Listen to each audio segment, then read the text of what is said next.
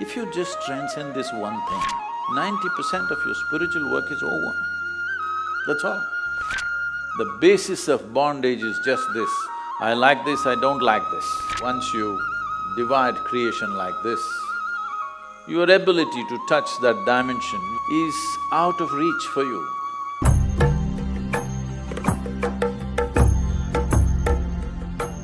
When you start doing what is needed, there is no such thing as what is it that I like and what is that… what is it that I do not like. If you just transcend this one thing,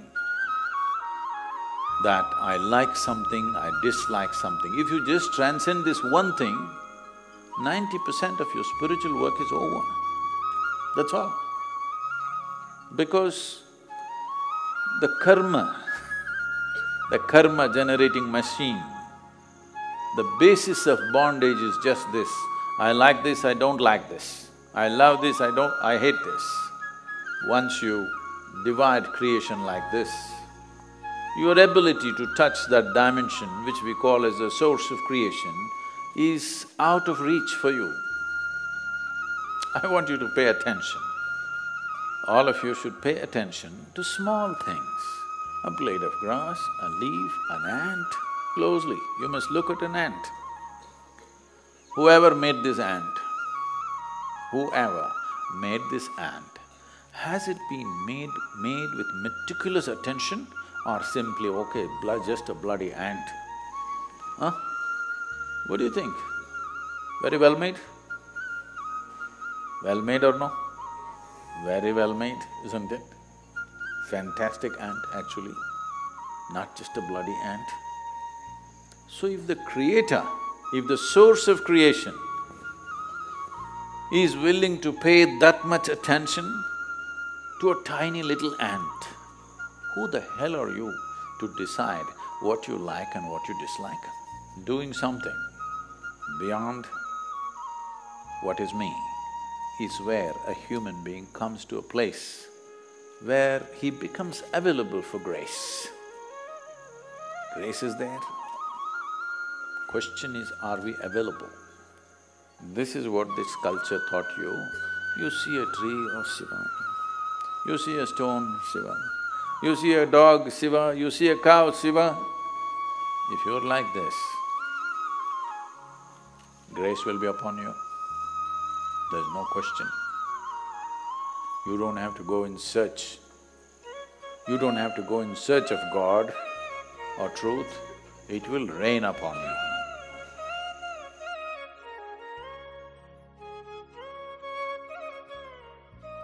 Now, we all heard from Sadhguru what are the effects of responding to a situation and reacting to a situation. Now, let us go a little more deep into it and see what Karma book of Sadhguru talks about. Now, in this book, it is mentioned about Gautama. Now, Gautama the Buddha speaks about the four aspects of mind that is, Vijnana, cognition, Sanya, recognition, Vedana, sensation, and Sankhara, that is reaction. Now, let us suppose a sound comes to your ears. It enters the first aspect of your mind, that is Vijnana. Now, Vijnana cognizes that this is a sound, not a smell, taste, or sight. Now, Sanya recognizes the source of the sound, whether the sound is coming from a bird, from a tree, from a person speaking, or so on. But how does it recognize it? Now, every sound you have ever heard has been recorded. So, a vast library of sound exists within you. Without a past impression, there is no possibility of recognition. If, for instance, if you hear the sound of a pickup for the very first time, your mind will just get confused. But 10 days later, if you hear it again, Sanya will now recognize it immediately that this is the sound of a peacock. Now take another example. If someone is bursting crackers, you may go into ecstasy, but your grandfather may have a nervous breakdown. The same sound creates a pleasant sensation in one person and drives the other one crazy.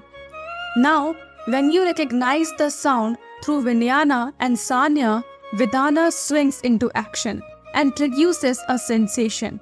If you recognize this as a music, pleasant sensation will happen. If you recognize this as a noise, unpleasant sensation will happen. It is not the sound itself, but the way it is imprinted on you that makes you recognize it as pleasant or unpleasant. So, the very way in which you experience life, whether you see it as sweet or sour, beautiful or ugly, pleasant or unpleasant, is your responsibility as your ability to respond is what determines the nature of your experience. Now, you are a sensory being, right? Your entire experience of life is a certain sensation. If you don't feel a certain sensation, you may not be even aware that the part of your body exists. It is Vedana that reminds you that you exist by giving you the experience of sensation. This way, you recognize the sensory input in the way you experience life. Vijnana, Sasanya, and Vedana, that is cognition, recognition, and sensation, are automatic and takes place in just a split second. However, the fourth part of the mind, that is Sankara, is related to reaction and is entirely in your conscious control. If a pleasant sensation arises and you say that you love it, your Sankara immediately says, Oh, he or she loves it. So now it is stored in your love bag forever.